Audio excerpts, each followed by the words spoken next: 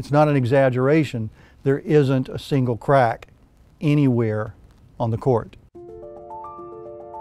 I wanted the boys to be able to play college tennis. We were starting with them when they were seven and five.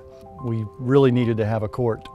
Stewart Tennis did the installation. I did express when they built the court that I was concerned about cracking. I don't know that there was a court that I played on that wasn't cracked. All of those courts crack.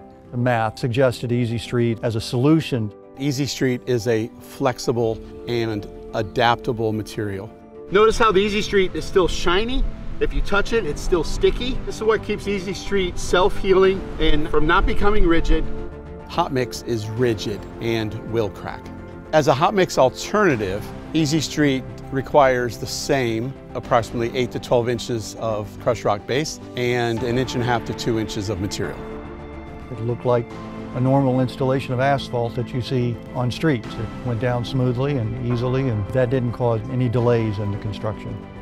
Hot asphalt has a shelf life of four hours. With EZ Street ambient asphalt, the material can be here for months and there would still be no issues with the installation.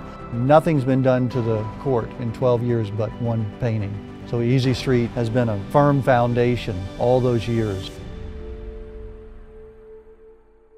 It's been through the rain, it's been through the heat, the Florida heat, it's been through two hurricanes, Irma and Ian, and we had 120 mile an hour winds plus, and it tore up the tarp. The surface is as smooth now as it was when it was originally poured. EZ Street Ambient Technology is a system engineered to be thermally resilient and enduring. It's been remarkable. We've not had to patch it anywhere since the original installation 12 years ago. Because EZ Street endures, there is no maintenance. In terms of uh, any kind of sagging or anything, that hasn't occurred either. This isn't a casual court. We've actually had small tournaments with pros who have played out here. They've all loved the court. They've said it's one of the best courts that they've ever hit on. A large part of that is because of EZ Street and the consistency of the product.